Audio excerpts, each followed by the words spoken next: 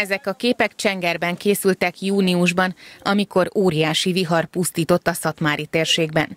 13 településen okozott károkat a rendkívüli időjárás volt, ahol teniszlabda méretű jég hullott, közel 800 ház tetőszerkezetét rongálta meg a vihar. A mezőgazdaságban is jelentős volt a pusztítás, a gyümölcsösökben 100%-os kárt okozott a jégverés.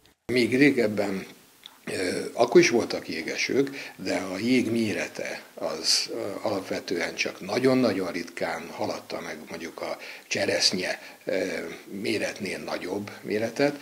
Most akár teniszlabda méretű jég is kialakulhat.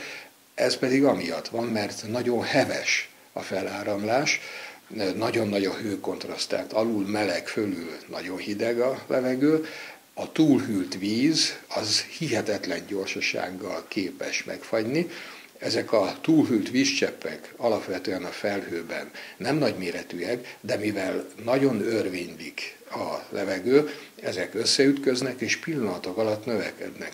A szakember elmondta, már a korábbi évszázadok komoly viharairól is számolnak be levéltári források, ám mostanában sokkal gyakrabban fordulnak elő, és intenzívebbek a viharos periódusok. Magyarországon vannak olyan térségek, és pontosan az északkeleti rész, tehát mondjuk Szabolcsnak is az északkeleti része, ami fokozottan eh, veszélyeztetett, mert a Kárpátok vonulata a meglóduló légtömeget fölszállásra kényszeríti.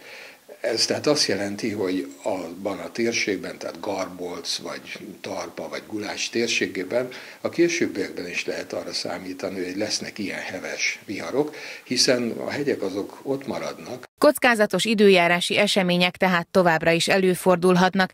Ilyen vihar nem várható a hétvégén, a keleti országrészben azonban jelentős mennyiségű csapadék ígérkezik, erős marad a légmozgás és kellemetlen, szinte őszies időnk lesz.